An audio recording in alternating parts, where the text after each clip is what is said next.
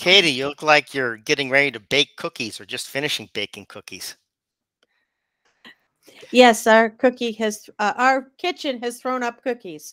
Um, Okay. it's just everywhere. So I'll be bopping in and out to finish. But here I go. I look more professional now. No, no, that's quite all right. I, I- put it on, put a little elf hat on. You look perfect. Look like you're in Santa's workshop. Okay, I am. We are recording, so I have to stop being foolish. I am going to call this meeting to order at 6:31 of the Windsor Southeast Supervisory Union, number 52, um, on this December 18th. Um, are there any changes, additions to the agenda? Okay, good. Just the way I like it. Um, we'll uh, look at uh, approve the minutes. Do I have a motion to approve the minutes from November 27th, 2023? So moved, Davis. Second, Nancy? There you go, Nancy. Um, are is there any discussion input about the minutes? When I read them, they seemed as concise and wonderful as usual. Elizabeth sometimes has some stuff, so I see Elizabeth has joined, and we're doing the minutes right now, Elizabeth. Oh, she joined again. Yeah, she- Okay. Any discussion? Okay. Um, all in favor of approving the minutes of November 27th, 2023, say aye. Aye. Aye. Aye. Aye. Aye. All opposed, say nay. Anybody abstain? Okay. Um, moving on to, well, uh, I'm actually looking at the minutes, not the agenda. I'm like, hey, we did that already. Um, public participation. Um, Carrie, you have a quick question? Yes, it's um there's actually two pieces to it. Um I did ask this at the Weathersfield School Board, but I just want to ask here as well. I'm just wondering um as regard to the SU budget. Um so, Carrie, if you can hold on a second, I we haven't actually got into my the public participation yet. Um, I thought maybe you had a procedural. Um, at the start of public participation, I read a quick disclaimer, and if you would allow me to read that, so everyone knows what sort of rules we're under, and then we'll go right back to your question. okay. Okay, thank you. Public comment is not legally required, but we believe it is crucial for us to hear from our community members about their concerns over issues. Through these meetings, our board models for our students how to conduct public discourse and that the board and members of our community can approach controversial issues in a civil and constructive manner and can demonstrate mutual respect. Having said that, please note that the board is here to listen. The public comment period is not designed for discussion. Please state by identifying yourself and by, in what town you reside in. Carrie Jewell, I believe that you have the floor and you reside in Weathersfield. Yes. Um, so my two questions um, are one, I understand how the SU budget is established and how the assessment, like there's a formula, I get that. My question is, is it a school policy or is it a agency of education or state of Vermont law that the SU budget gets approved prior to the local budgets needing to be passed? And the second part of that is I am wondering if there's been further conversations since um, Albert Bridge joined with um, Windsor to create Mount Ascutney, because I'm newer to the community. Um, why that district has six members on the SU board in Weathersfield and Hartland only have three. Yes. Um, usually we don't go into to discussion, but as a board member, I, I feel these are very quick questions. Um, and I will, I don't know exactly, even though I've read the law recently, uh, the SU is required to create a budget um, by a certain date. Um, and I can look up that date for you. Um, I have it in a document because this question has come up at the Weathersfield, so that's why I've been researching. But yes, the the the procedure and steps of how the um, an SU is created, uh, what sort of power it has, and when it has to create a budget for a certain timeline um, is within state law. It may also be, but I don't think so. I, it may also be some uh, within the State Board of Education, uh, um, some of their guidance. Uh, when dealing with education law, there's always two sort of areas in which bring it in actual uh, uh, uh, Code 16, um, which covers education law, and State Board of Education rules. So I don't know where the State Board of Education rules come in, but there is a a, a time date in which we have to have that approved by. I just can't remember the date. And um, the reason for the uh, the Ascutney board having um, six members, and it was voted on by um, the entire SU boards. That uh, the reason is because it's two towns. So technically, right now, each town has three board three board members on the SU board. Also, at the time, um, it felt that uh, the SU board had worked so well together that it it seemed logical not to change the balance in the membership of it. So uh, it's possible, though, that could be if enough interest was to revisit it, that that's just handled through our the local boards. That's a good question. I don't believe so. I think it would have to be voted on. Uh, hmm, there's some sticky points there because one, that agreement, I believe, is codified in the um, Articles. Articles. the of agreement. Yeah, the articles of agreement. Um, it doesn't mean that those articles of agreement can't be changed. I'm just not quite sure what the procedure would be. Okay. Um, Thank you. I, I've taken enough time. I really just wanted a couple of, so I kind of know where to head in my research. Thank you for your time. okay. Larry, you had your No, I think you hit the nail on the head with the Act 46, uh, School Board of Education, uh, State Board of Education, the SU, and the, the local towns requ- uh, requested a waiver from the State Board of Education to not have to merge. Um, so if you remember, we had one merger on one side, which is Windsor West Windsor, and then Hartland and Weathersfield has to stay separate. And as part of that, uh, getting the State Board of Education to bless it, uh, they said they would keep this setup of the SU. Yeah, it's important it the whole governance of education in the state of vermont is a little funky but one important point is a lot of things that we do are dictated by the state. We can't mix and change our su the, creation and the setting of a supervisory union is completely in the hands of the state legislature it, it's this or the and the Department of Education. We have no power of that. So, for an example, if one school district wants to leave an SU, the actual SU and the school districts have no power and no recourse to do that. Um, and SUs, along with the power of a superintendent, really is codified in state law, um, which limits what can happen. Now, a discussion on reorganizing the school district and merging other school districts, I'm sure the state would enjoy that. But at, at the time that we merged, uh, it was pretty clear Hartland and Weathersfield was not were not ready to to entertain those ideas, and may never be, and that's fine. So, but um, and I have to ask everyone's excusure for taking the time in this one thing because I, I feel it's quite important. Okay, is there any other public participation?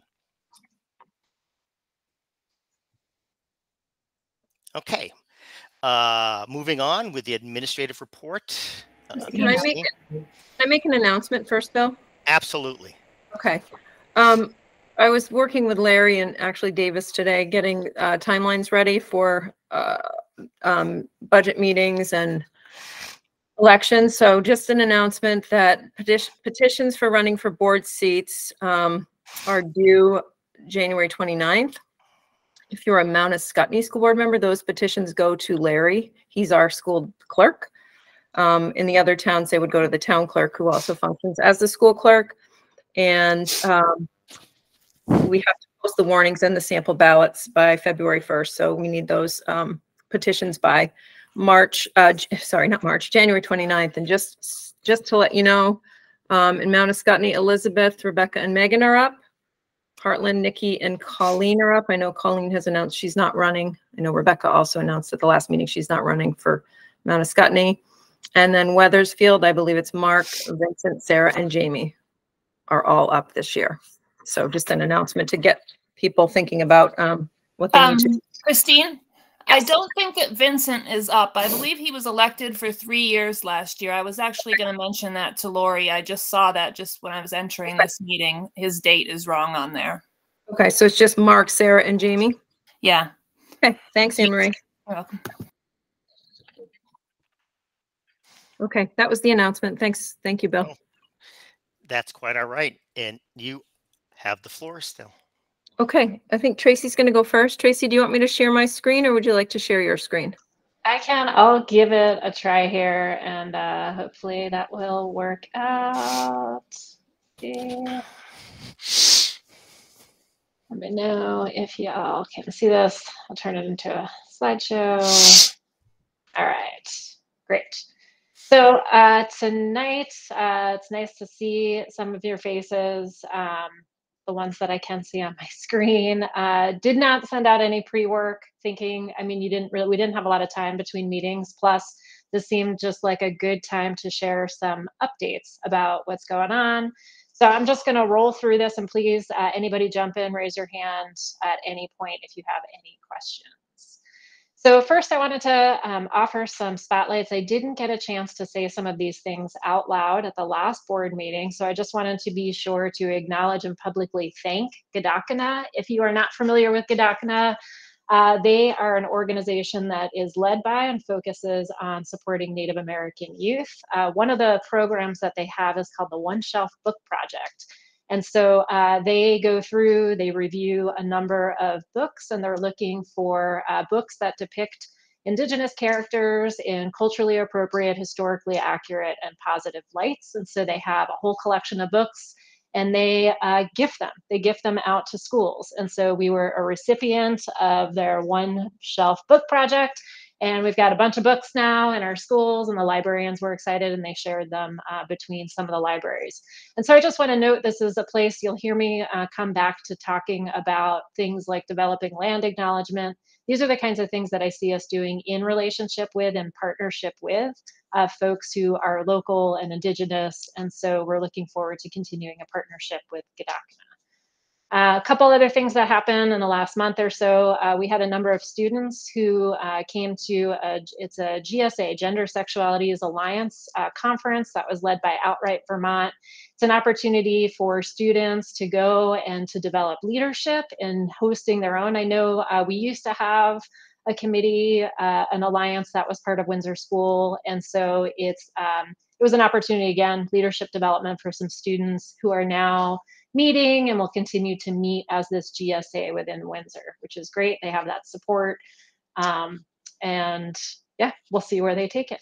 Uh, the other thing I wanted to mention is that there are some students from Windsor Middle School who I think I mentioned last time how there was uh, Colleen put out word to see if there were any students in the middle school who were interested in showing up to work on anti-hate, and uh, 18 kids came out uh, Christine and, and Colleen and I were there for the meeting. And so one of the ways that we were channeling some of their energy and interest was into starting to make some posters twice a year, there's this national campaign that's called Us Versus Hate. They have posters, students can submit posters. Although the students didn't submit any for this timeline, there's another one that's in April. But the point is, is that 18 kids showed up from Windsor Middle School to try and work on stuff. This is some more, this is one of the posters that a couple students made. Uh, I'm sorry that it's small, but they have an acronym for bully, which is things like be a friend. And so it's kind of redefining what bully can mean. Uh, that's just one of the one of the projects the students are working on. I'm actually going over to Windsor every Monday now during the lunchtime hour and holding that to help support some of the some of the cool things that students want to do, like reading books to younger kids about uh, about diversity, about community, uh, doing posters, and we're also going to get them involved in. Um, I'm highlighting this particular slide because Windsor has been uh, noting monthly themes, right? So this last month, uh, the theme was around universal human rights. And so there was an opportunity to have, there's going to be more of an opportunity to get students involved in helping to educate folks around whatever the monthly theme is. There's, um, you know, we're all familiar maybe with like Black History Month that's in February. So themes like that, but have it be more student led, have students responsible for making bulletin boards, uh, figuring out activities. For Universal um, Human Rights Month, they actually shared, there were a number of videos that were shared about different identities, which can become part of our advice. There's just lots of opportunity to be more intentional about highlighting and lifting up these monthly themes and getting students involved in helping us do that. So we're gonna look forward to more of that. This is something that just started last week. I know there have been questions like Elizabeth has talked about Act One, right? Talking about how we've got the educational quality standards, the new ones that are coming out. And so um, I think I've mentioned this before that the Vermont Coalition for, uh, sorry, the Vermont Education Justice Coalition is hosting a class that's about, it's called Applying Inclusive and Equitable Teaching Practices that's aligned with these educational quality standards to help support us thinking about how we bring these into our schools. And so um, I just started the class last week, but this is just a little glimpse into some of the things that they're sharing. This is something that we could potentially, and this is, you know, we'd have to figure out how we would do something like this, but it's basically a reflection activity for educators to do things like, um, you know, examine your own cultural identities, reflect on how your identities shape your teaching. So it's a reflective tool uh, that educators can use to think about how are they really bringing in diversity, equity, inclusion into their classrooms. So more to come on that as the class progresses. So I'll pause there for a second, just see anything coming up for folks, any questions, comments. Okay. I'm going to keep rolling along. So um, I wanted to share back some notes we've had. We shared the equity audit findings with all staff a couple months ago. And since then, we've been going out to each of the schools for some follow-up meetings. We'll have two of them. So we completed the first round of follow-up sessions. So during this, there, during these follow-ups, it was really an opportunity to engage staff and find out, you know, what meaning are they making out of the equity audit? What are they noticing about some of the findings? And so I'm going to share some notes with you that have come up from uh, these follow-ups. And I'm going to frame it, if, if this looks familiar to you, this individual, cultural, institutional, this was the same framework that I offered when we were talking about race and racism, uh, thinking about how racism can play out institutional, cultural, individual levels. This is also a way to organize, right, how we're creating change over time, to look in these three areas. So that's how I organize this. And I think I'm going to use this model too for sharing different um, updates with you all and, and hope this makes sense. If it doesn't, please stop me anywhere. So a couple of things I just want to note is that the notes from these follow-up meetings came from the audit. The audit was done last year. So it doesn't mean that these notes are reflective of what's happening right now. It's it could be like as people are processing some of the findings, maybe they're also connecting it to something that's going on currently, but it's a little bit of a mix of both. Okay. Uh, so some of the notes that came out along institutional lines. What were what were people noticing about the audit? Uh, this is again, and, and there was no scientific uh, analysis of these notes that I'm sharing right now. This could be one person. I tried to pull things that were mentioned at least a few times across the groups. We also know that not everybody attended these sessions, so there may be things that are also missing from what from what I'm sharing. But um, there was definitely an interest in some more professional development. There was a noticing that uh, equity and diversity inclusion is not consistent across grades and schools. Uh, some uncertainty, we've seen this before. Uh, I think we've even talked about this. Some some uncertainty or lack of clarity around what we mean when we say equity. I know we've talked about that as a board, like having the board get to a place where you all are also defining what educational equity means. There's also like people know that we have policies, but there is sometimes a disconnect. Sorry, I don't know if you can hear my dog uh, with his toy in the background, but at home. uh, okay, so policies, we've got some great policies, but sometimes there's a disconnect and people don't know everything that's happening in the policies. Uh, so some other comments were that you know there was some great work happening before COVID. COVID disrupted the work, uh, and so now it's sort of like we're we're we're trying to get back into it. Uh, people felt like a little bit communication, accountability, a little bit lacking. Uh, yeah, there's some comments about curriculum, but I, I, I want to note too that there are a variety of comments around curriculum from people saying, oh, it's not diverse. You'll see later that there are folks who do say it is really diverse. So it's a little bit of, of a mixed bag. On a cultural level, uh, culture varies school to school. We know that there are slurs, there, there are jokes that are happening, uh, not very funny jokes, right? They're, they're hurtful, harmful uh, things that folks that are being said in our schools. We know that that's happening. Some people felt like unconscious bias may be a factor in that that there's also some some disagreement different perspectives between school teachers families um, wondering what we're doing to make the theme of belonging relevant. What does that really mean on a cultural on a cultural uh, I don't know for, for for our culture? What does it mean to really belong? Some different understandings about trauma. We need more feedback, follow through. You know, again, student staff experiencing some hate and discrimination and some unchecked behaviors. This isn't. There shouldn't be anything in here that is surprising to to see. That's noted on an individual level, people wondering like, are they being spread too thin? Again, this theme of, of a lack of training and education. Some wonderings around whether students are able to be themselves or if kids may be hiding feelings, you know, that we don't recognize or realize. Uh, there is a sense that individual teachers may bring in some diversity, equity, inclusion into their classrooms. Um, maybe it connects with curriculum maybe it doesn't uh, but it's really individual teachers who already have this awareness who are able to bring stuff into the classroom. Teachers are trying their best. They got a lot going on. Uh, some not feeling heard uh, feeling like some guidance is a little disjointed. I think that also uh, reflects to like communication and and and really having a plan for how we're doing all this work. And so lots of room to grow Uh, what I want to also touch on too is that within all the notes that came up, there are also lots of opportunities. We asked people about opportunities. We also asked them about what are some of the things that you're already doing in your classrooms that we know are these promising practices and examples for what we could do more of. So again, just organizing this around, and this is where having our anti-racism policy, this is where I think I said last time, like this is like my work plan, right? I mean, these are some of the goals that we have in the anti-racism poly. These are also the goals that we have generally and broadly for diversity, equity, and inclusion in each of these three areas.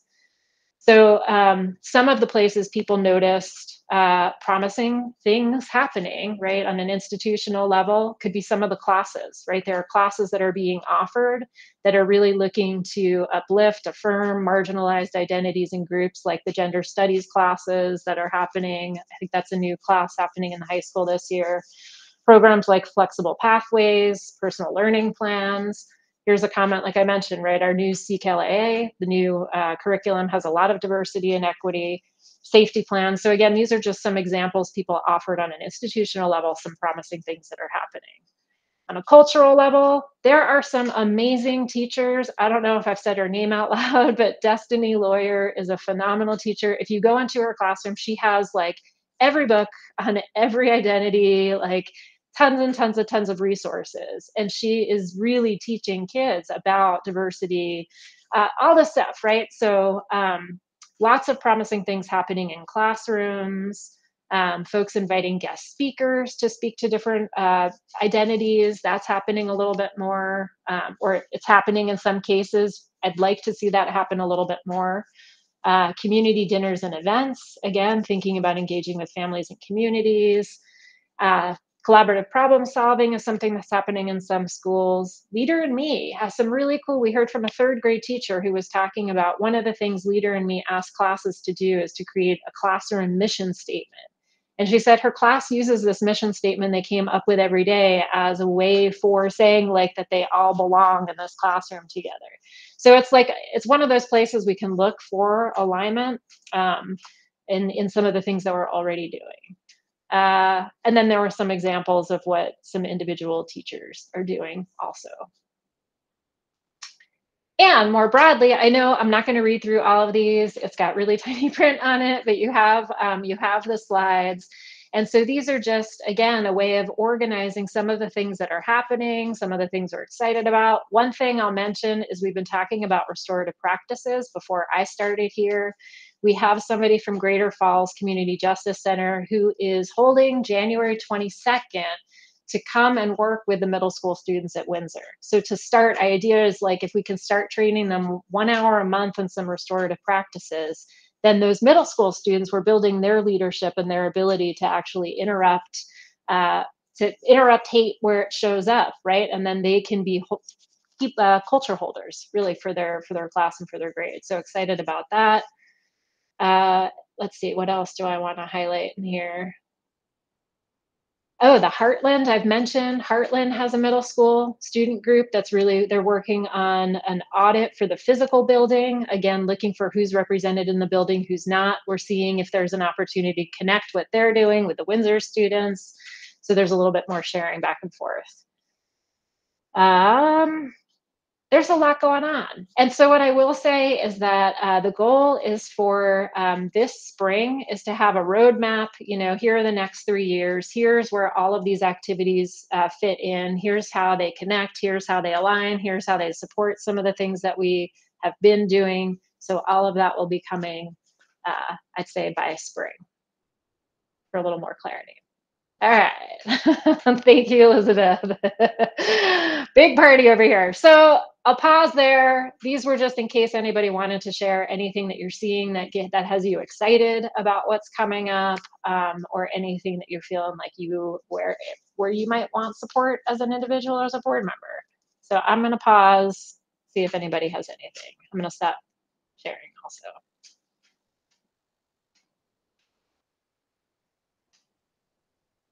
Davis.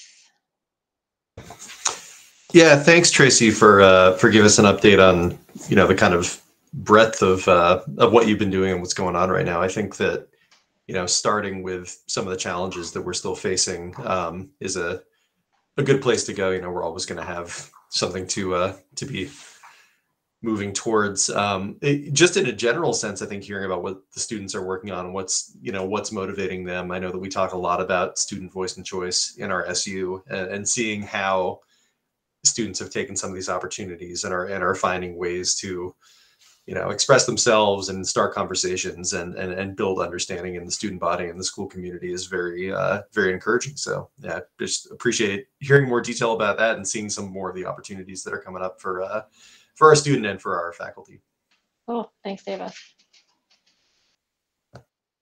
mark yeah yeah, just a quick comment. Uh, I'm really reassured um, by hearing that there's a roadmap um, for progress coming out in the spring.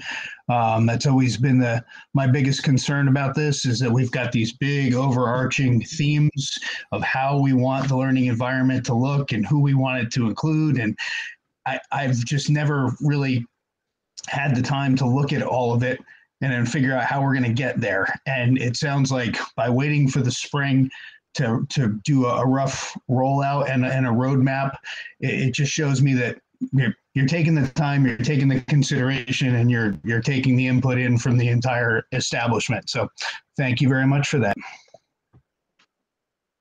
You got it. Rebecca, hello.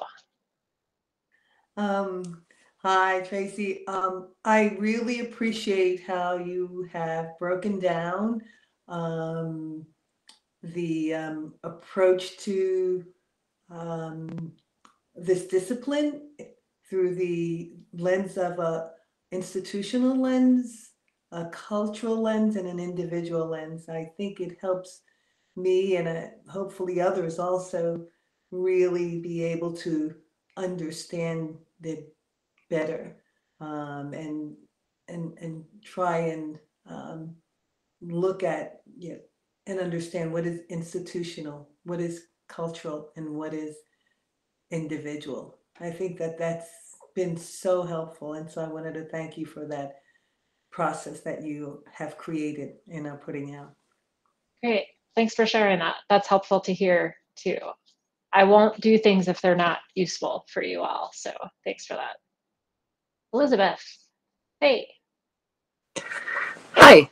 Uh, thanks. Thank you. Thank you. This is I um I I agree with what everybody has said so far, and it and seeing like how many kind of uh, irons you have in the fire is really exciting. And uh, I, I was wondering um, whether you're getting enough support and whether like what does it look like when you go to talk to individual teachers versus talking to teachers in a group? Um, and do you have a different response from teachers when you talk to them individually as you build those relationships? Thanks Good questions. Um, I would say part of the roadmap uh, will likely include things like I would love to have teachers who have some stipended roles, you know, next year who could be building based folks who are more, I mean, it's a model that other schools have. They have like equity coaches within schools. So I'm curious about that um, and whether that's something that would work here. Um, there are a couple of things I think with individual teachers, you know, it varies. Sometimes teachers will reach out with a specific request around something. And so uh, it's been great getting to know teachers that way. Some people show up for those Monday meetings that I've been holding space for, like the DEI restorative practices. I think people just aren't really sure yet what that space is for.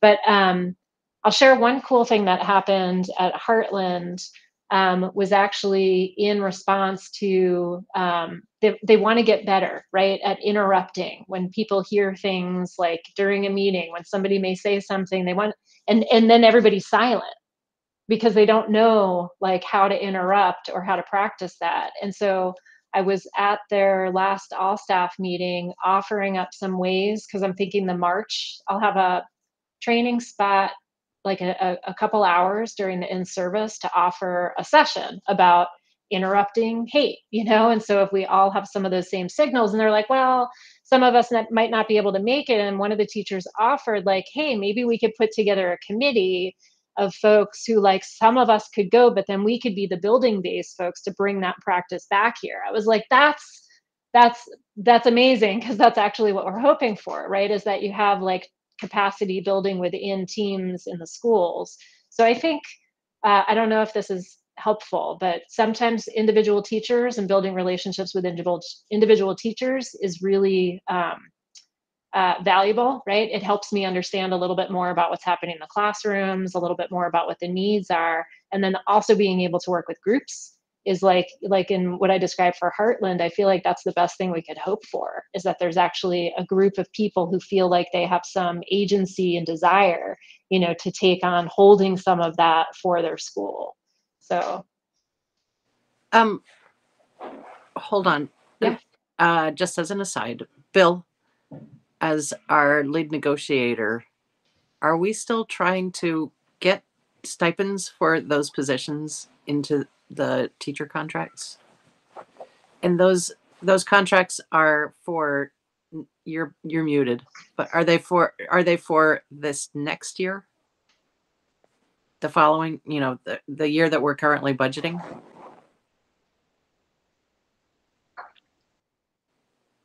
I can't hear you. Yeah, Me either. together. Is that Yeah. better? Yes. Okay. I have an extra button that sometimes gets pushed. Um, that has been part of the discussion so far. Um, it has not come up in the actual negotiation piece yet. Um, Okay, but it will. so yeah, so the answer is yes. Okay, so if we can make sure that it gets into the negotiation discussions and then, but you are talking, when you do the negotiations, you're talking about the year that we are currently budgeting for. Is that right? Yeah, this is Yes. the three-year contract ends this year. Okay, so So the- next school year is so what we're the- budgeting for. so my my uh my next statement is to uh the whole SU board please make sure that you put some of some set aside some money for that in your budgets because it won't matter whether it's in the contract or not if it doesn't go into the budgets Thanks for that, Elizabeth. I should say too, there is like the, there is a small um, DEI budget that does include some support for potentially roles like this next year. So there is some money that's in there that's Okay. being held. So if whatever details have yet to be worked out about what that might look like, but um, yeah, well I just i just want to make sure that we board members are doing our part as well that's great. Love it. Thank you. thanks Thank you, Tracy. Yeah. Thanks, everyone. Christine? You ready for my report? Ah, yes. okay. Uh, I thought maybe you thought I had a question, but uh, just uh, I don't have a question, but I do have a huge shout out to Tracy, who's really helped organize and um, move this work forward. Without her, we would not be anywhere near um, where we are. So appreciate her. She's doing a really wonderful job and and really spending the time to to listen and build relationship, which I think is really critical in this work. So a big shout out to Tracy. Um, let me pull up my report.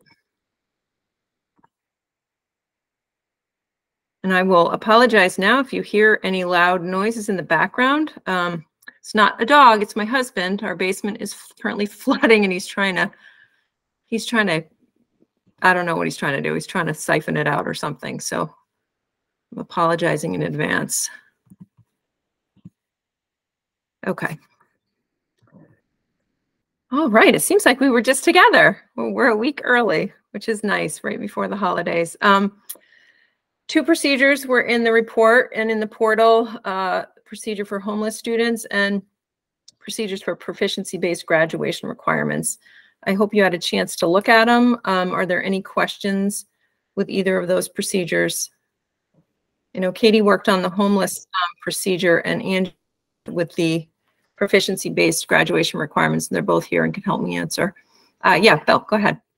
Um, whoa, that was odd. Um, the um, the homeless one looks great.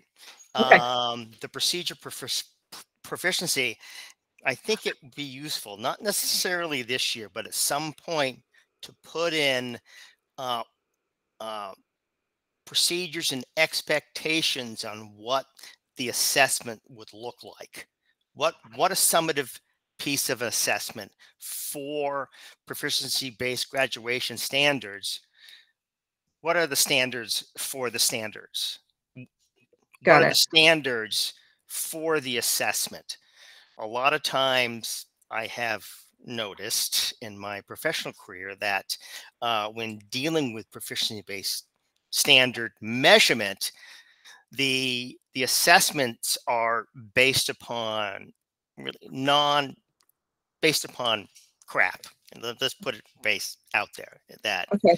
you know you you you have a proficiency based standard and you base them all on a single presentation or i mean there needs to be some uh, summative reliable and uh, reliable and uh, measurable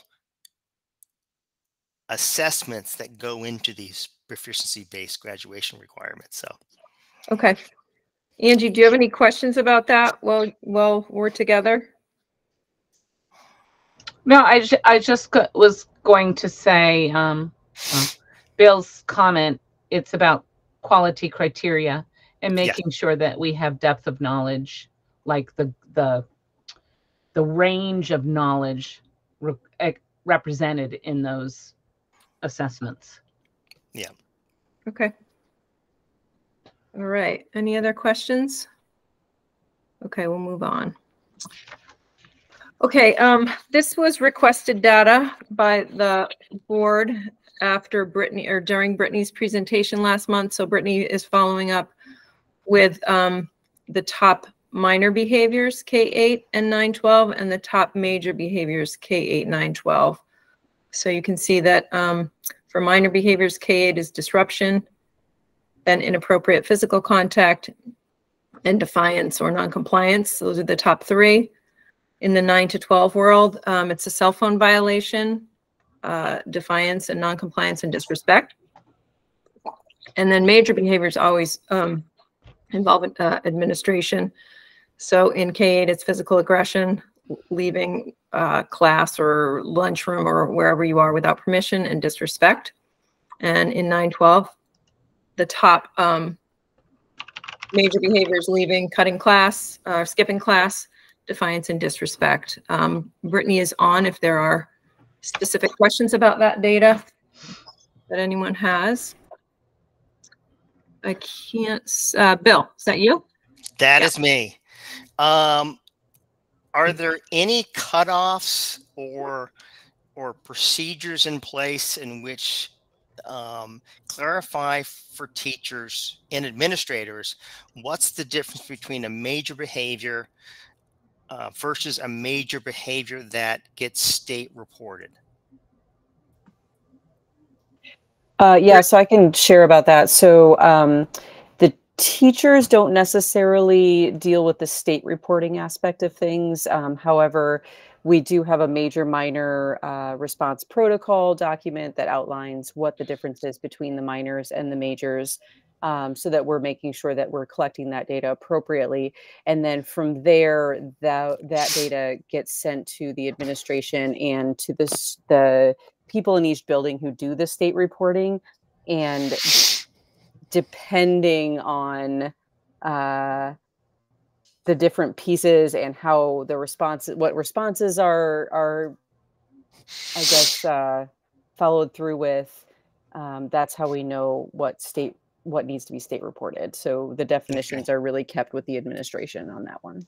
And so I'd I'd be interested to, to see those. My concern is um, a in my personal experience and no my professional experience uh, uh, buildings underreporting to the state um, uh, major behaviors um, because um, as you know the state is looking at different and more varied criteria for funding.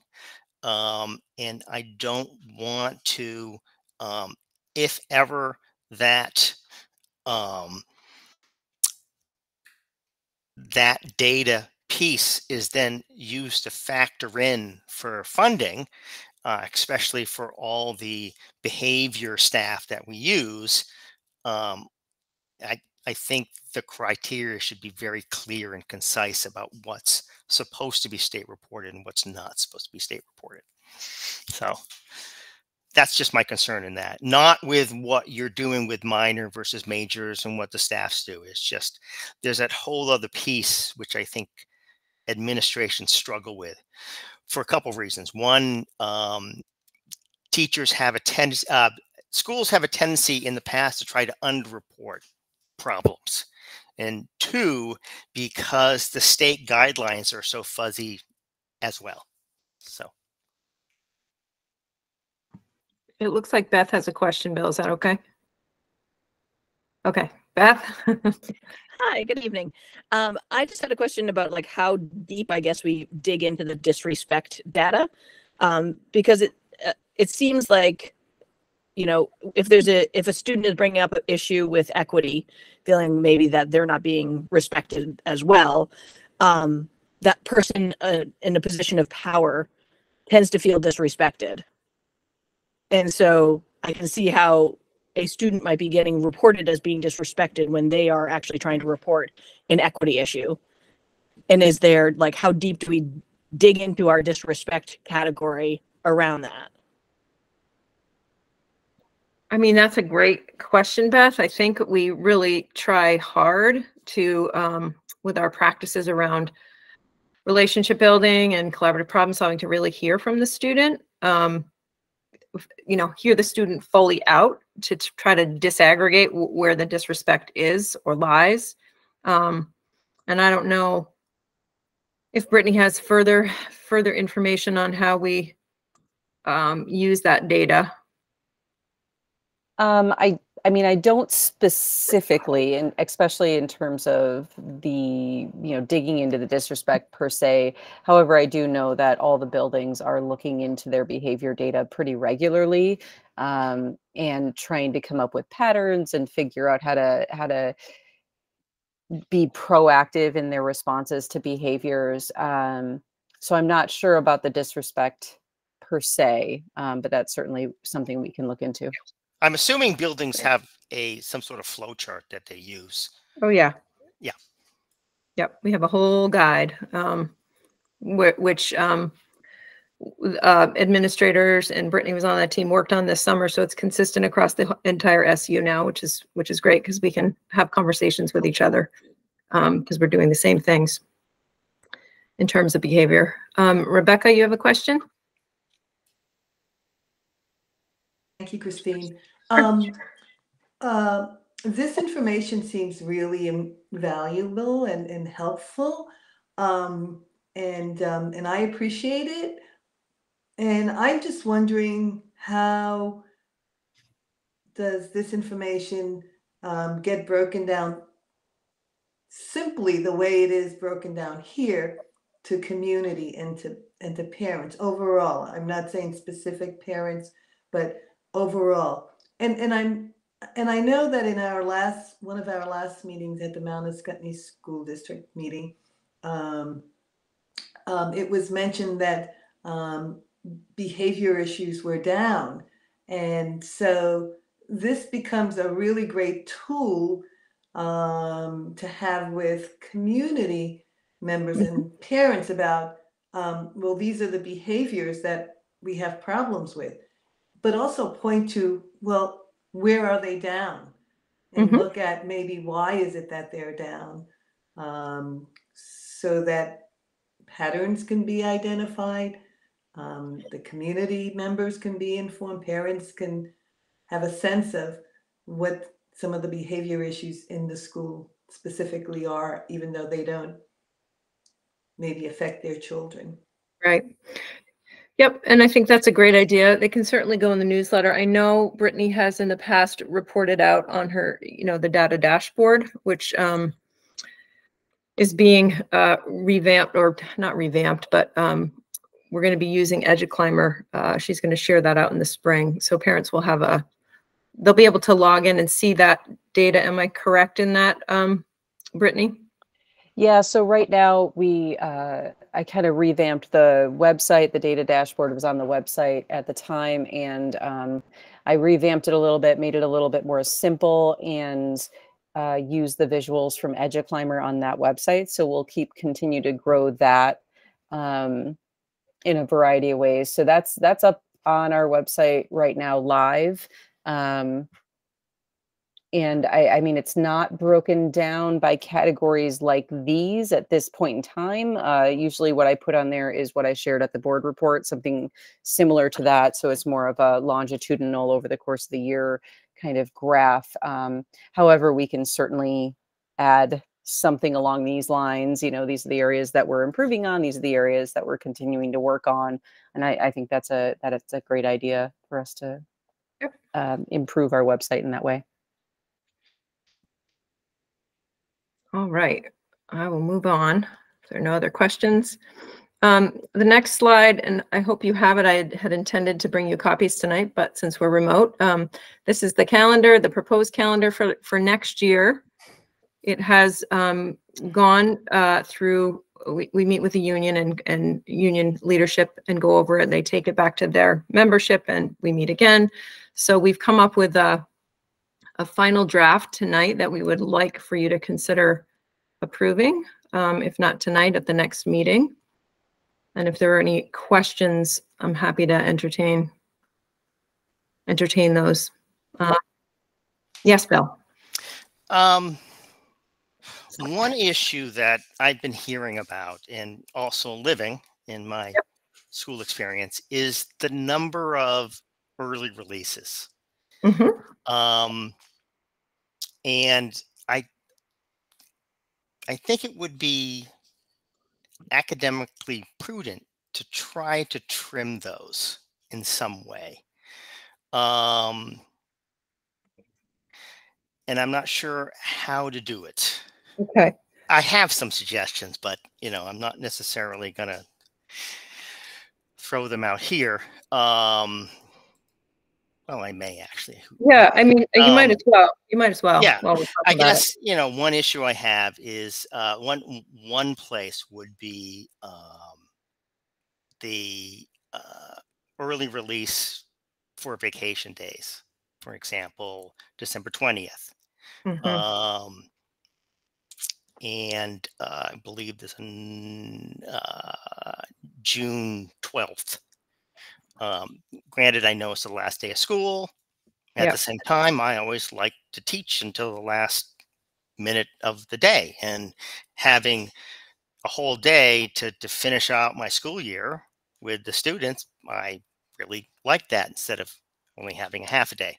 Um, also, the um, parent conference days, Mhm. um, early release on the uh, November seventh and on um, April 10th. tenth. Yep. Um,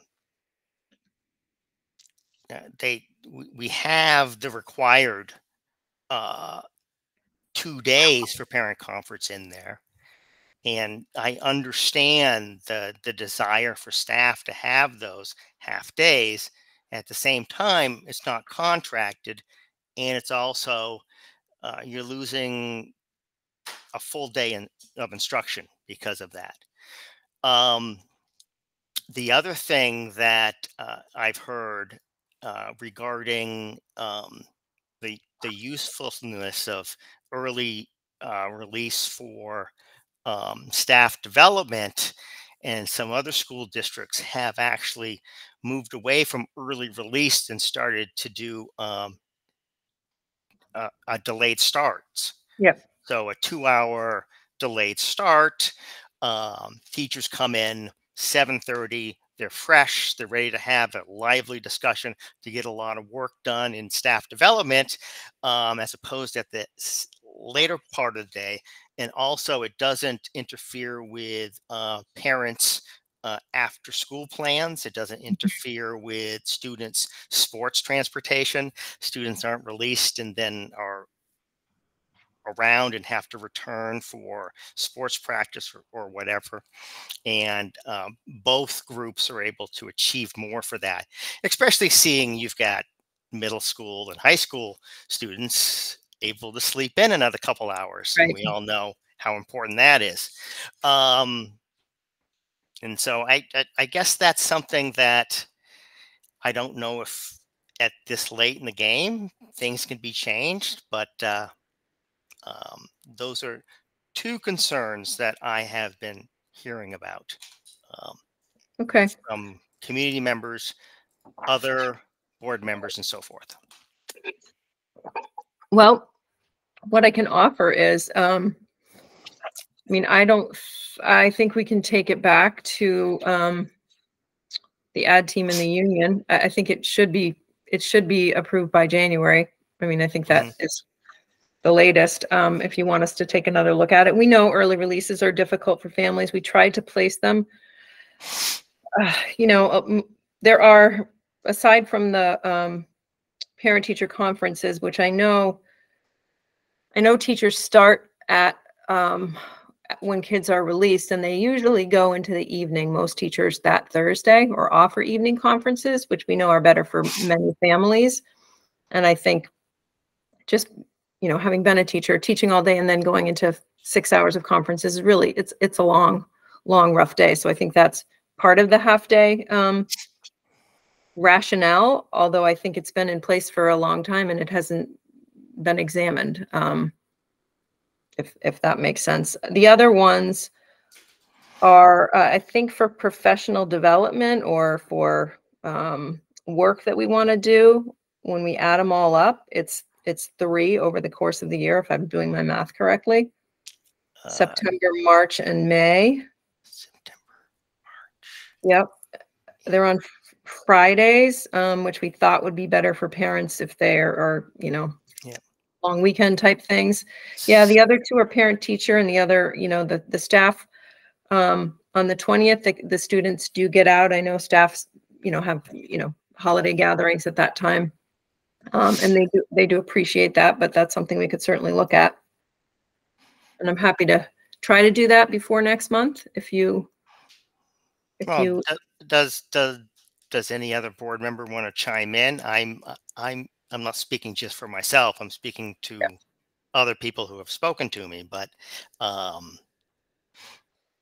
I, I, I think the, uh, half day, let's call it creep, began about four or five years ago when half days started to be added for staff development for work, of course, that needed to be done.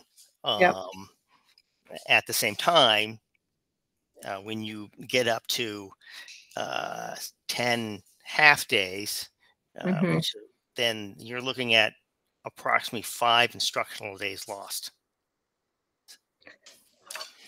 Um, and I have heard, I know Woodstock does an early, uh, late start once a month, which I, thi- which, which I think, um, which I've heard has gone pretty well. And that is certainly something we can entertain. yeah. It just involves communication and making a plan. Yeah, one thing Hartford has done is uh, um, is of course we're limited on that because Mhm. of our contract of seven and a half hours, but um, that the students come in, the middle school and high school students come in a little later so that they get to sleep in and the staff have that hour in the morning every day. Yeah. Um, Um, it looks like Angie has her hand up. Bill, is that okay for her to chime in? I, uh, Bill, can you tell me again what the hours were for that? Like, was it two hours? Was it three hours for a earl, uh, delayed start? um, my understanding is the same as what Christine quoted was Woodstock is they had a, a 10 o'clock start. So it was Okay. a two hour delay. So which allowed, you know, if you say teachers are going to come in at 730 and we're going to get going right on time, um, gives you a good solid two hours. Yeah. Okay, thanks. It looks like Megan has her hand up as well.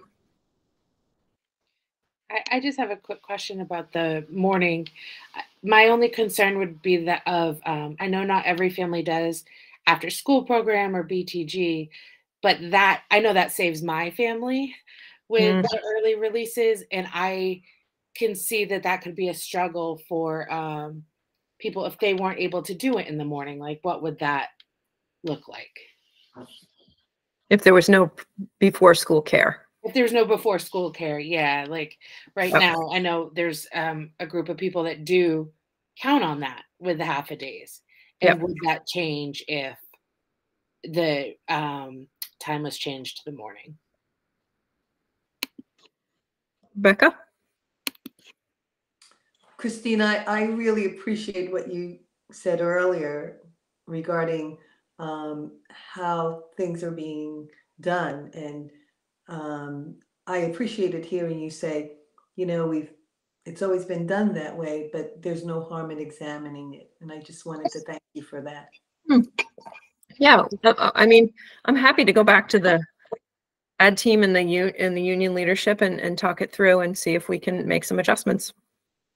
That's, um, you know, we need to hear what the issues are and, and we know that early releases are difficult for, for parents. Um, we, and yes, they have creeped up. I won't disagree with you, Bill. I think in the last couple of years, we've tried to really keep them at bay and balance the work that needs to get done because in the contract now, I mean, we have five professional development days a year and that's it.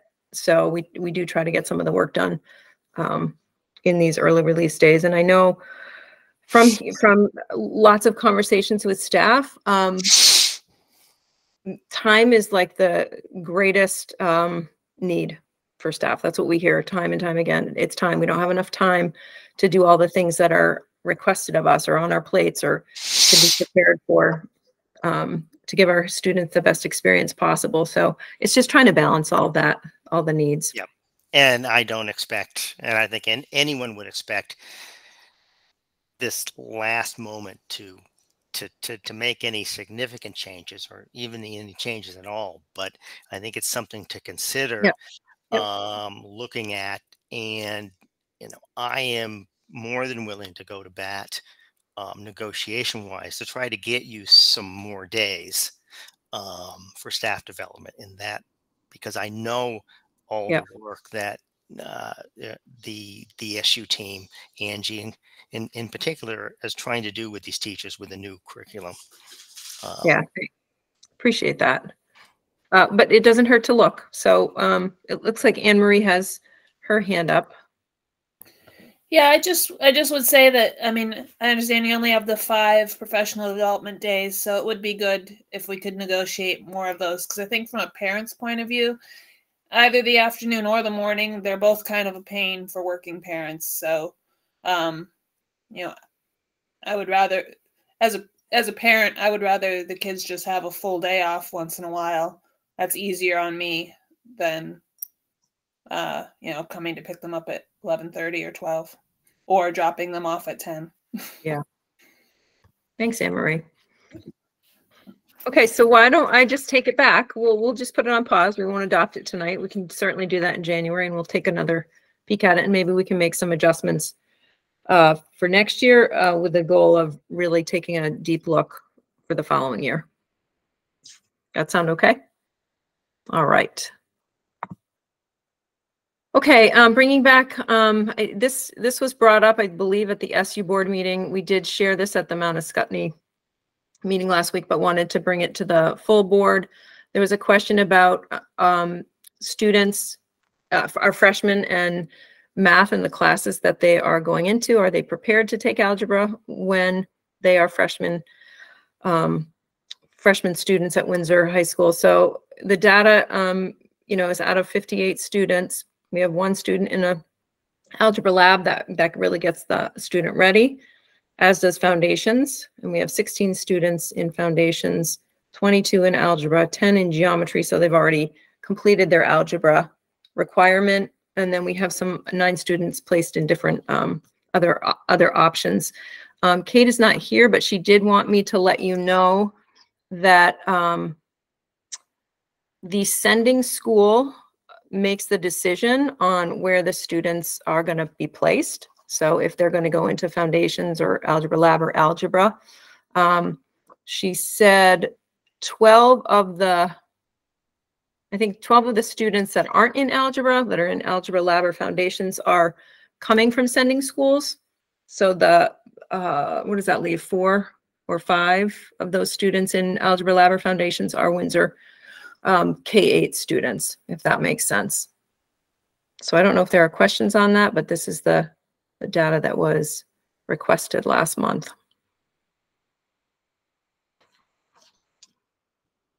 All right. Bill, you have a question?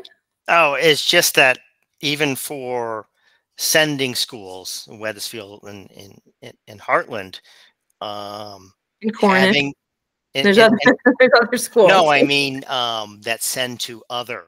We're sending from the SU out of Yep. to um, uh, having um, that communication piece and that alignment to what the expectations are for, for an example, um, and algebra for freshmen to going to an algebra two class, say at Hartford, it's really important to to to get those recommendations and that alignment as close as possible.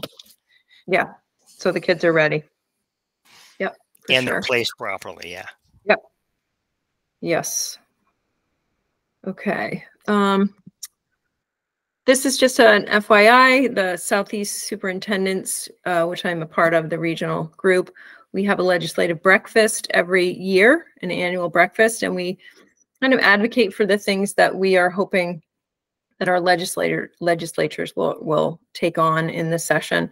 So I just wanted to share that um, we had our breakfast on December 8th. It was very well attended. Um, Elizabeth was there in attendance as well as other uh, other representatives from our region. Um, we talked. We started with talking about some things that we're proud of as a region, which is we have started a um, Vermont Learning Collaborative, uh, which has been um, pre predated me. They've been trying to start this for years and use some ESSER funds to really get it up and running. So we do have a collaborative that's established. We've hired a director. We are starting to offer professional development. We are starting to um, uh, really work together to um, fill positions that are those hard to fill, those hard to fill spots. So we're really proud of that work. Um, we've taken a position on literacy, really um, pushing, uh, you know, belief and work in the science of reading and making sure all our staff are on board with that because we know how important, um, we know the importance of learning to read early. So we were proud to share that. The other things that came up were building aid, which you've heard about. Um, building assessments were done across the state, and um, there is work to figure out which buildings need the most work the soonest and, and how that is all going to play out and where the funding is going to come from. Um, there was talk about career and technical education and um, other concerns, which you continue to hear about from us is uh, hiring and retention of staff and mental health um, of students and staff and the impact of, you know, the ESSER funds going away, what that will be on our staff and our students. So those were the topics that were covered. We had a great discussion and we have a great group of legislatures. So um, very feel very supported by them. And I think um, not my last slide, but next to last, Angie's going to talk about the Title IX. This was a question that came up um, last month as well. So Angie, I'll hand the floor to you. Thank you, Christine. I have been um, trying to participate in Title IX sexual harassment training with uh, the lawyer Heather Lynn. She has really become the state's um, expert at the Title IX and HHB hazing, harassment, and bullying um, law and how it impacts uh, schools. So in the training, she's talked about the legislative changes that were enacted perhaps this fall sometime. And the one, so as I went back through the um, materials that were provided, this was the one place where I could find information about it. That it is, um, it was expected, and I believe this did happen, to require that all sex-based harassment matters and not just sexual harassment, which currently it was, well, the current practice prior to this was just sexual harassment, be handled through the Title IX process. What that means is um, that that would come through the Title IX coordinator to determine whether or not the behavior is um, sexual harassment. So sex-based, they mean it is that it would not have happened if it weren't for the um, sex of the complainant. That's the person who is the potential target of of specific behaviors. Um, and the reason that that the reason that that was explained to us because they want to make sure that any um, that some behaviors aren't going unaddressed. So if they come through the Title IX process, then the coordinator would the coordinator right now holds that decision making power of whether or not to pursue um, the complete um, Title IX process, um, but this would assure that um, fewer behaviors would be missed. Uh, that's the only information I could find because the slides from the November training that I was unable to attend have not been shared yet. Elizabeth, can I? Oh, sorry, Bill. What? No, that, Elizabeth that, has her. yes. Okay, thanks. yeah. Thanks. Thank you for that, Angie. That I was the person who asked about that, and uh, I appreciate you you digging that up for me. Um, who is the Title IX coordinator for our SU? Me. Okay. So, uh, are you ready for, um, are you ready to be No. able to handle? No, we're not ready. Um, we need to establish our Title IX process more clearly in the buildings. And if we had Title IX building-based coordinators, that would help somewhat. Um, and that is just a process. Uh, we came to you, to the board and presented the, the Title IX online reporting form.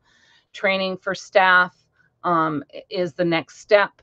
And, um, then really figuring out what the system looks like so that there's more support in the building for that work. We've had some people have been trained. Heather Lynn does these, they're three four hour sessions, and she does them in the worst time of the year, frankly, which is in October and November when there's a lot of things happening. So it's trying to make sure we get that training, and hopefully she'll be offering more.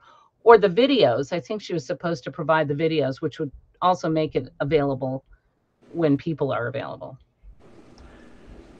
Okay, so in the, so what happens before, uh, before that's all? In, what happens in the meantime? I'm- I think uh, we're hearing about, we're hearing questions. Our principals know to, to contact me, to ask me questions about whether I, or not I think it needs to move into the process. And we are hearing, I am hearing about those situations. Okay, I'm I'm just with all the stuff that you do, Angie, and it is a lot. I'm I'm concerned that there might be an uptick in Title IX cases coming in the in the coming months, and I just want to make sure that you're ready. So, I I mean, last year, um, we, I, I learned the system, so I, at least I know I have some processes in Uh-huh. place. Um, we, it, it is what it is. We have to respond. So we will Yeah. do the best that we can, which is, and we will stay in compliance, which is the goal. And do you know not where to get? Easy. Yeah. Do you know Do you know where to seek outside support? Yeah, our um our relationship with Heather Lynn and Pietro Lynn uh, is they are extremely uh, helpful and responsive, uh, which is really nice. Um, we also have um, uh, the like different ones of us that have been trained in it, and we can put our head collective heads together and support each other that way. Um, so the principals have gotten um, in recent years. I'd say last year was the first time they had this, where they are hel- helping each other. If there is a um, hard case in a building, they the the principal will go to that bill. A principal from one building will go to another building to do interviews and things. Last year, I had. Um, as in the Title IX position, I, I can't do the investigations, which is a fancy word for interviewing um, students involved or adults involved. And um, so Brittany has been that investigator for us for one case. In another case, we contracted with, we stipended one of our um, employees to be the investigator. So we have some different ways to kind of help get the process because the process is very clearly articulated. Is it understandable? That's a different thing. It's complicated, but it is clearly articu- articulated in terms of the steps that have to happen. Okay, because I tried reading the Title IX updates, and it's quite long. Mm-hmm. So So if you wanted to, I I tried going on. I can't. I don't know where to find that information. So that I really rely on Heather Lynn's um, uh, knowledge, and she puts it out in a form that schools can then respond to, and like I can take it in and I can understand what it means in terms of our system and how we and what's required of us to respond. So if there's something, a resource that you would could share with me, that'd be great. Oh, I'd be glad to. I'll, I'll, okay. I will send it to you in the next day. Great. Thank you, Elizabeth. Yep. Yep. Thanks a lot, Angie. You're welcome. There's a Colleen has a question. Thanks. Um, Angie, do you have a sense of, can you hear me okay? Yes. Um, of the number of cases, I don't know, last year that might have fallen into this category? Um, Next that, year. yeah. So, um, no, I don't.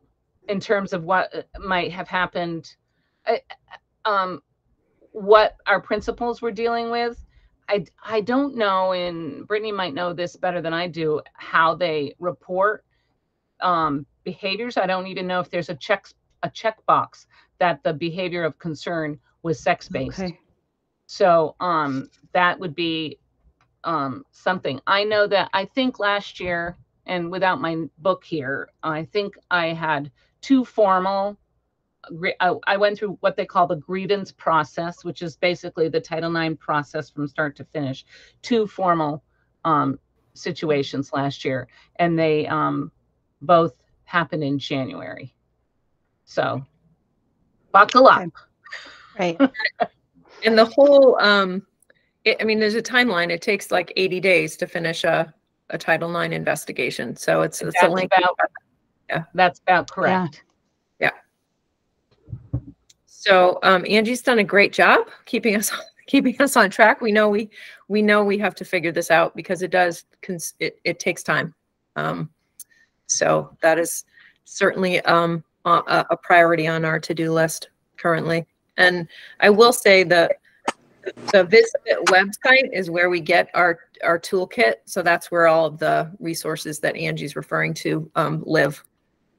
I, I was just thinking that now that it exists, um, you know, there can be more, like now that these updates exist, there will be more uh, incidents of them because they didn't exist before. Yes, as, as we become more aware of what behaviors constitute Title IX, um, by a violation of our Title IX policy. Um, the other thing the AOE has uh, done is they offer um, lunch, monthly lunch sessions where you can go and you can bring your questions to the to Heather, who hosts them. So I think the state is recognizing the complexity of the laws and then how it's impacting um, in, uh, schools and how they uh, respond to this kind of behavior with more support. And every year, uh, like I did part, I looked at the slides from last year that she did. Every year she does the training, or every time she does the training, Heather reworks them and tries to get the language more clear and more clear. I mean, she's dealing with the law, which isn't always in layman's terms, right? So, Well, it's like 380 pages long. The updates is, I mean, it's not possible really to not go into a coma while trying to read it. it's quite long. good bedtime reading, I guess. Yeah, right. All right. Are no other questions, I just have one more slide and it shouldn't be take too long. I just wanted to let you know that um, Larry and I recently attended a, a Vermont School Business Officer, Vermont Superintendent Association training. It- It sounds like it was the first um, time that these groups have come together in this way. Um, for a training, it was called Effective Practices in School District Fiscal Planning and Management. Um, and it was really all about, uh, some of the time was dedicated to understanding the new formula that we're using currently, or we're going to be using, or we are using, um, as information comes out. And um, a, a, a big um, takeaway that Larry and I had from the training was that it would be really important to have some staffing rules in place as we move forward. Um, we have some currently in place, but Larry's going to work with principals, you know, over the course of the rest of this year to review what we have in place and add any additional rules that make sense. So, for example, a staffing rule is um, some of them are based on our um, education quality standards. Uh, K, I think it's K2. Um, the EQS standards say less than 20 students per classroom. Um, third grade and up, it's 25. So, looking at those rules, making sure that we have them in place may come in handy um, in the future as we prepare for um, what they keep calling the fiscal cliff. Um, sounds horrible, and I think we're doing a good job of being really cognizant of what the needs are for our students and balancing that with, um, you know, the the needs of our communities in terms of fiscally responsible. So it was a training. It was very informative. Two days. Um, we would go again, and we have some work to do based on what we learned at that training. Yes, Elizabeth. Thanks, Christine. Sure. Uh, my next question is uh, How are you and Larry and the principals working together to uh, kind of really dig into the new um, equalized pupil weighting formula and what Yep. that means for not just for budgeting, but also for uh, the way we educate kids? Because it does weight, I mean, it, it's some of the weights are kind of philosophical. Mhm. Um, so I will say that Larry and Larry can pipe in as he sees fit. Um, we started hearing about the new weighting system, you know, a couple years ago, and I think we practiced with it last year. We did go to a training, one training that that tried to describe it. It was very complicated, I have to say. I have a better understanding now. So it with the numbers and and the changes really rolling out now um, in my meetings with principals i've tried to explain what that means just on a basic level because we're right in the middle of budget season and so there was uh, part of that training was how are you going to bring this information back to your principals and help you know have them work with you on these things so i think our plan is starting that work it, it- does apply to staffing rules or, or will Yeah. help with that work. So that's our kind of inroad at this point. But um, I mean, they need to be they need to be part of the discussion for sure. Well, I, I my suggestion is I, I sent you and Larry and I think all the principal or all the board chairs the um, explanatory document from the Joint Fiscal Office, Mhm. which was it was worked up for legislators who don't care about it at all, Mhm. but they need to know about it and they need to understand it. Um, for people who aren't on school boards or don't follow education funding, it's very uh, very simply explained. So um, just take a look at it. It might be helpful. Yep, thank you. We'll definitely do that. All right, and that concludes my report. If there are any further questions, I'm happy to take them. Otherwise, I'll turn it right back over to you, Bill.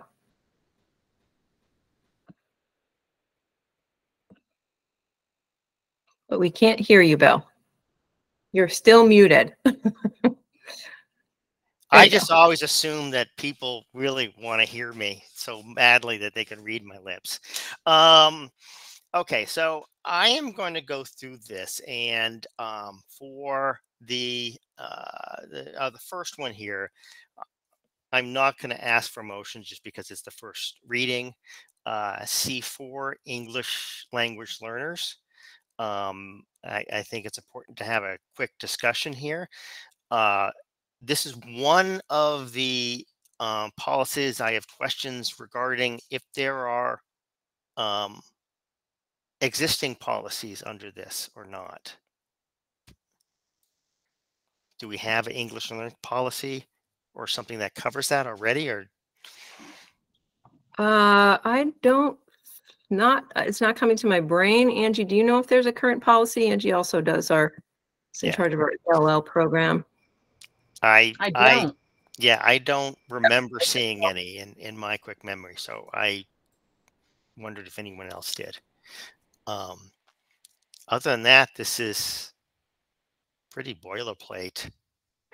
It basically states out legal, federal legal, state legal responsibilities. So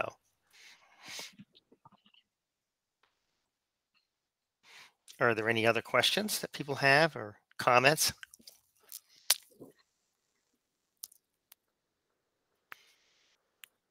I'm just looking to see if there is one. Okay.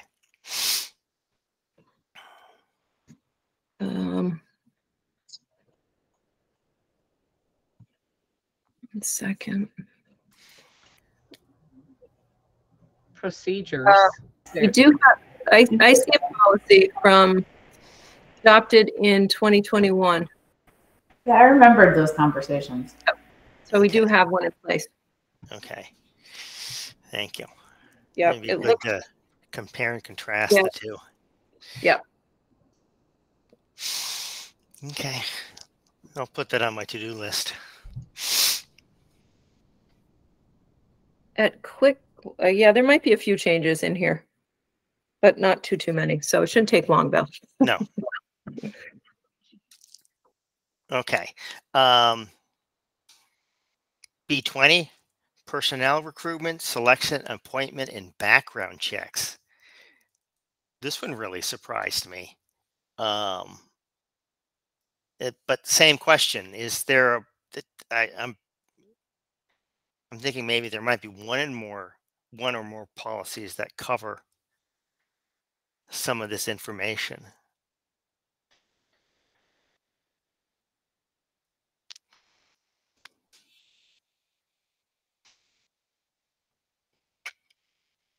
Actually, I know there is. I can't remember it, but um,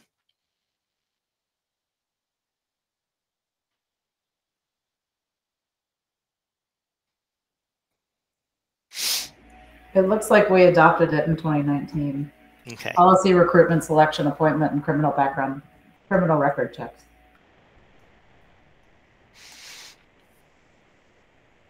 Nikki, what would we do without you? A policy. Googling. Yes. okay, so again, I uh, uh, before the second read, I, I'd like to go through and look at comparison, contrast, and to see what sort of changes there are. Um, any other discussion, questions?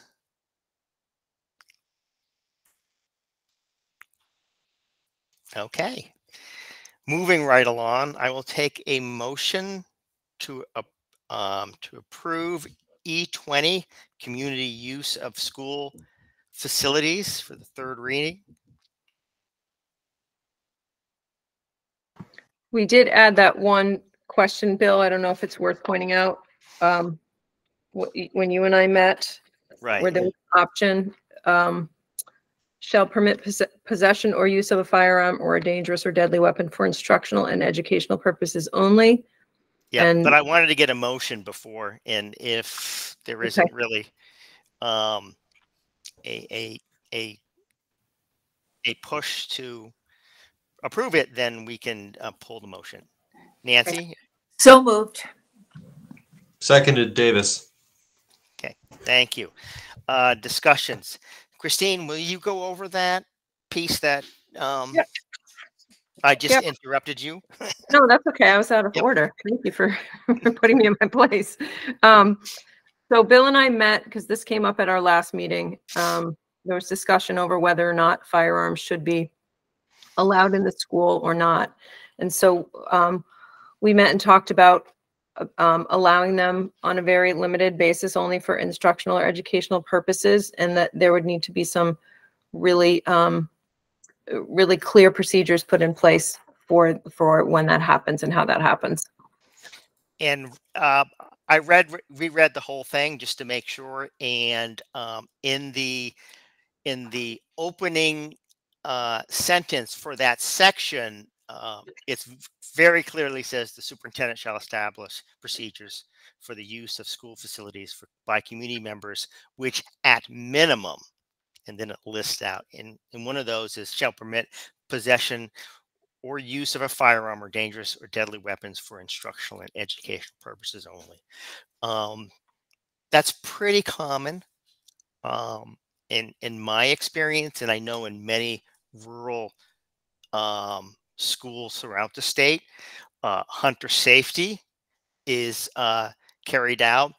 And um, there's never any firing of these weapons, but sometimes a hunter safety instructor would like to bring either a dummy rifle or an example of a rifle to make a point about the safeties and the pieces. Um, I have uh, had uh, reenactments come for uh, historical demonstrations, which they fire muskets, unloaded muskets. They, there's no balls in them, but they fired those. I've had high school students bring um, uh, in in um, uh, military uniforms to to to discuss about the pieces and so forth about it and included swords and so forth and so but all of them went through a procedure and got permission before bringing them into the school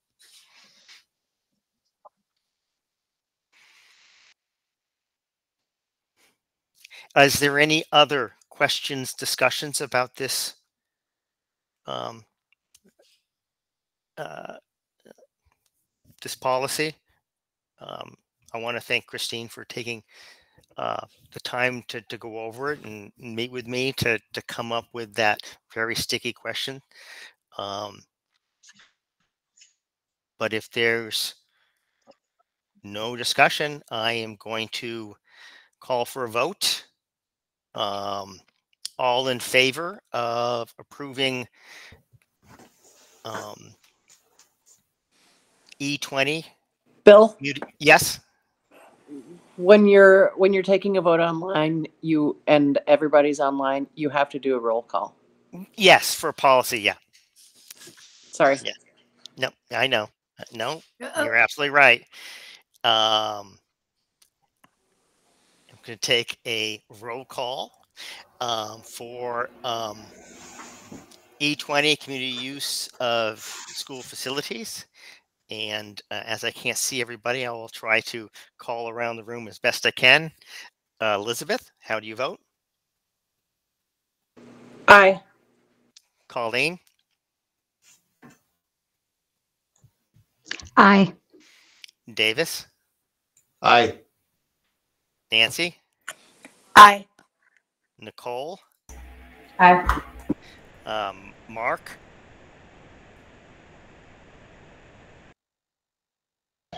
Aye. uh, Anne Marie. Aye. Functioning- Thank you. I'm I'm functioning completely on memory here. Um, Rebecca,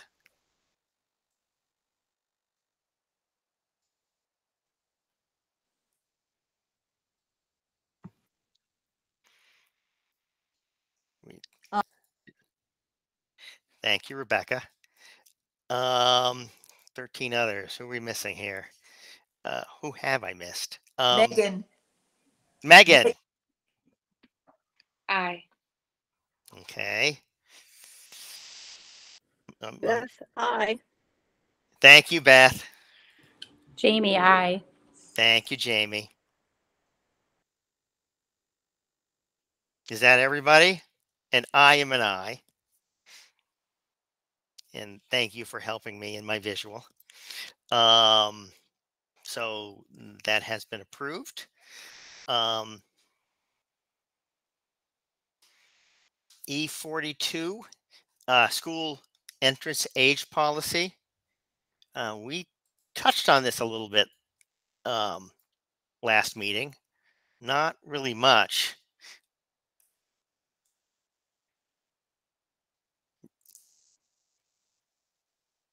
Just to rec, we just changed the, um, in the second bullet, I think we added preschool program.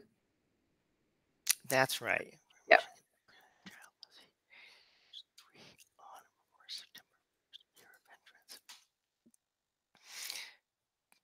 Does anyone I because it's just a second reading, I haven't called for a motion. Katie, go ahead. There was a question last time because we had universal pre-K and you asked me to look for some information about that.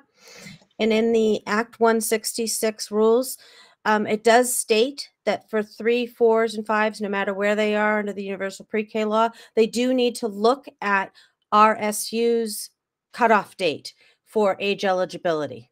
So that that was the question that you asked last time. Yes. Um, Thank you for looking into that. You're so welcome. that basically makes it uh, the preschool bullet point important. Right. So I think originally we had universal pre-K. Um, there had been at one point a little bit of ambiguity on that, especially as children turned six. Um, so I did did the digging. So it could go back to being stating universal pre-K instead of just our own preschool program. Um,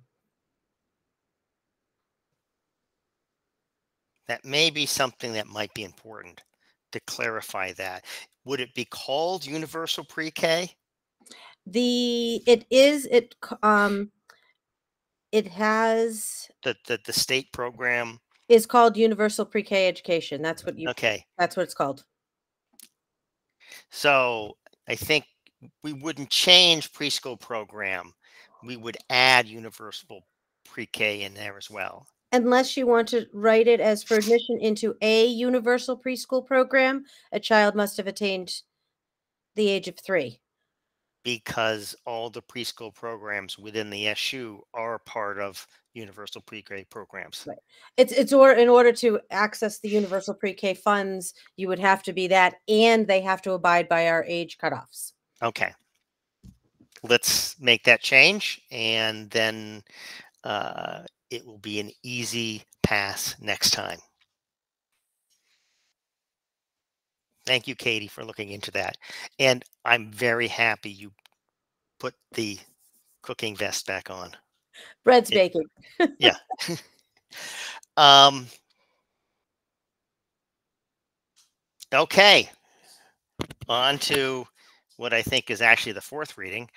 Um, I will take a motion to uh, approve C28 transgender and gender nonconforming students.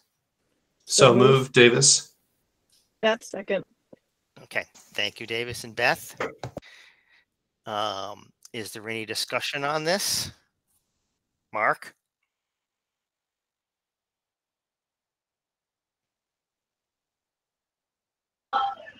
Yeah, uh, on the draft I have, uh, page three, third paragraph down, um, it has listed reached age of majority. Um, I'm not sure that's accurate. I'm wondering if that is meant to be age of maturity in regards to the changing of student documents. Page three, third paragraph down. Uh, I'm going off my notes. I think it's the second or third line.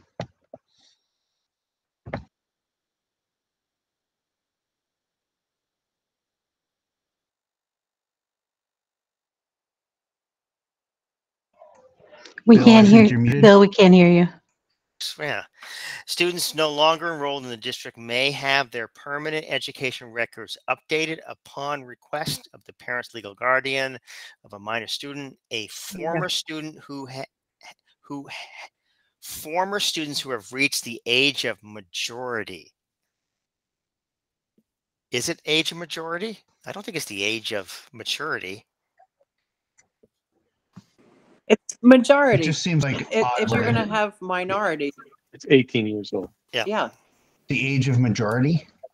Yeah, it, Yeah, it's not a term that gets used a lot, kind of colloquially, but that is the legal term. Yeah. Okay, well, great. I'm glad that was addressed. Thanks. Yep.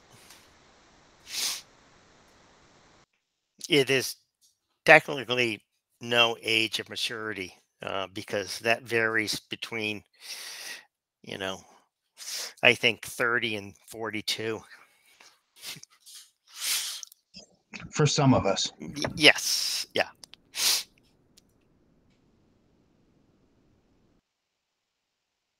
Any other discussion? Uh, Elizabeth?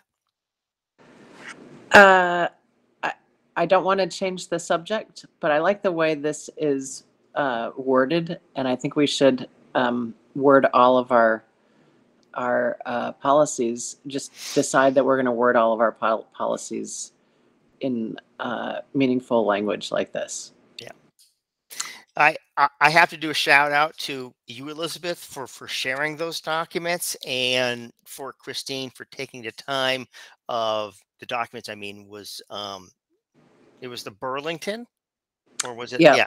it was the Burlington Or- model.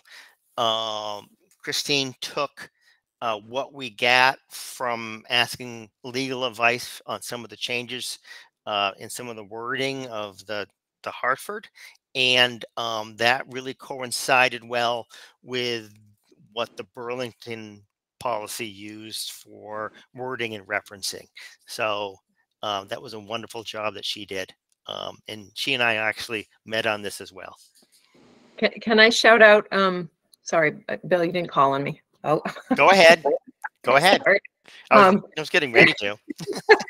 Um, I will say, uh, shout out to Tracy because I was talking to her about it and she said, wouldn't it make sense to take this to our transgender staff and, and, and students? So she took that on and did that, um, and they appreciated that and approved, um, really didn't have many recommendations. They thought it was a really strong policy as well, so. Seems like it's a long time coming and it's, and it's here, which is exciting. Yes. Elizabeth, was that an old hand that was up or a or a previous hand? Or do you have something else you want to add? No, that was it. And and again, I don't want to change. You know, we are in the middle of a of a motion, so I don't want to change the subject matter. I just wanted to say that I really appreciate the language and the tone of the and the kind of full explanation of the purpose of the policy. Yep. A lot of workers went into this, and I think the Yeah. time we take has really paid off looking at uh, sources and so forth. Yep. So, um, again, let's see how well I do. I um, I will take a vote on a what is it called, Elizabeth? A roll. It's not a roll call. It's a Yes, it's a roll call vote. Roll call. Oh, roll call vote uh, for uh, C28 transgender and gender nonconforming students. Um, and I Has the motion, has it already been moved? yes. Okay. Davis, So long ago. Aye. Elizabeth, Aye. Beth, Enthusiastically, aye. okay, um, Anne Marie, Aye. Jamie, Aye. uh, Mark, Aye. Colleen, Aye. Rebecca, Aye. Nancy, Aye. Nikki. Aye. Did I miss anybody? Megan. Aye. Megan. Well, i- if I miss just one, I'm really getting better at this. Okay. And I am an I. So this has passed. Um, setting the next agenda. Um, we have, uh, I believe that uh, the calendar should definitely go on there because we we we de- do need to get to that next month, regardless of of of, of what happens. Um, I've got um, uh, Tracy's report, and then I'll put the calendar in mine. We'll put it under um, items for action as well.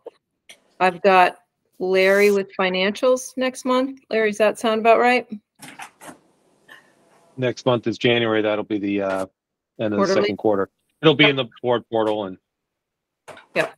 And then I've got um, C4 as a second read, B20 as a second read, and C42 as a third read. Um, and and we paused the C80, which is the local wellness policy, as our um, local wellness team is uh, has just met for the first time and they want to review and Lexi? feedback. Oh, I just took your pen out. as a a- as a not necessarily ma- matter away? of uh, procedure. Let's see if I can get through through Nancy's. Um, um, I think the wellness policy would be another policy that would be good to bring to students as well. Yeah. See their perspective on it. Um, Yeah, that'd it- great. Yeah, in fact, part of the um, guidance in um, that policy, there's a lot of procedures that go with it. Uh, it. You have to have students on your local wellness team. So there will be some students involved in it, Okay. at that level at least. Um, is is Tracy planning on giving us some homework, seeing we have an extended break? I'll let her speak to that. Tracy, are you? You know, I I don't have anything right now, but uh, I'll hit you up. I'll hit you up after the after the new year. Okay. Um, So, Bill, there is another um, B23 selection of library materials is um, on the the VSBA website as a policy to be Okay. reviewed. So I don't know if you want four policies next month or you want to leave it at three or you just Uh, I I I would prefer to get it on there just because I know that is a political hot button issue. I'd like to take our time on it, and uh, Okay. I'll add it. even if it's a first read, we you know get everyone to read it through and sort of banter it around really quickly. Okay.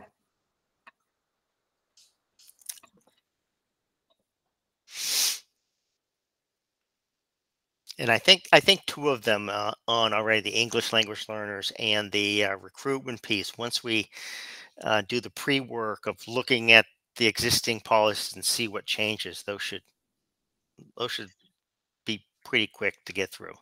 They're very procedural, Yep. and uh, I think the age school entrance age policy is just, just going to be a straight, pretty much just a straight vote. I think that's pretty solid, especially with all the um, the, the uh, with the time that Katie took to to look into it before this meeting. So thank you. Okay. Do we have a need for executive session or? I know Anne Marie and uh, Christine are going to chat about something um, after this, not SU related, but for a meeting that we have up coming up Yep. Thursday. Just kind of be on the same page, which may run into a executive session, but if we can nip this in the butt, then no. Okay, I will take a motion to end uh, this um, SU school board meeting. No one wants to end. I know. I'm just. I'll end. Okay. I have kids Nikki. coming in and out. I want to give other people a chance to get. Now, Nancy, you are our our uh, workhorse second person. So come on, take. Second. second. Okay. Um, because it's not a policy, I will take a voice vote unless Elizabeth is going to tell me I can't. is Elizabeth here? She gave you the thumbs up. Okay. All in Good. favor of ending, uh, uh, exiting this meeting, please say aye. Aye. Aye. Aye. All opposed, say nay.